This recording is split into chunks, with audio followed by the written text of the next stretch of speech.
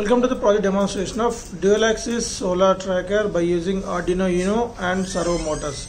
So here we are going to control the solar panel position exactly perpendicular to the sunlight when the sun is traveled from east to west.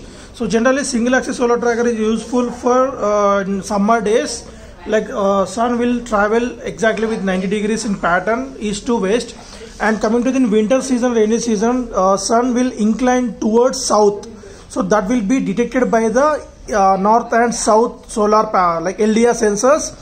And so that these two LDR sensor will track the sun inclination with respect to south and these two LDRs will track the sun in east to west.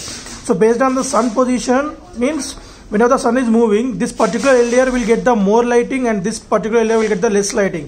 In order to getting the same lighting on these two LDR sensor the system will run the servo motor in y direction. Same thing for x direction. So that's why we are calling this as a by uh, like uh, dual axis solar tracker. So here we have interface of four LDR sensors at A0 A1 A2 pins.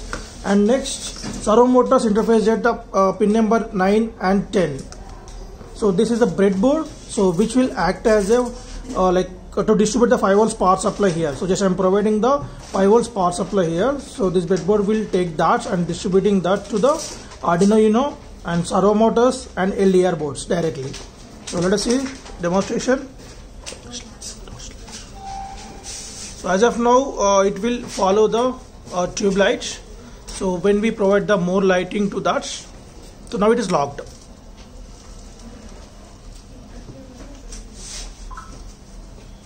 So it will be locked over here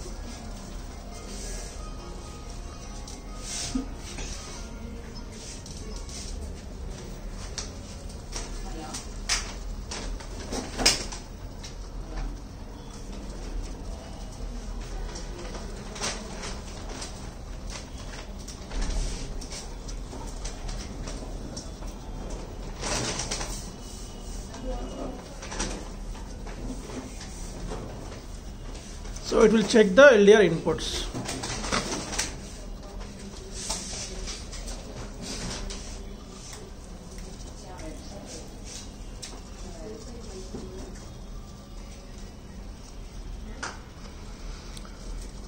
Right. So there we are using SG90 uh, servo motors for tracking of this solar panel in order to get the uh, perpendicular sunlighting fall on this platform. So here we are using the 3 volt 2 watt solar panel for demonstration purpose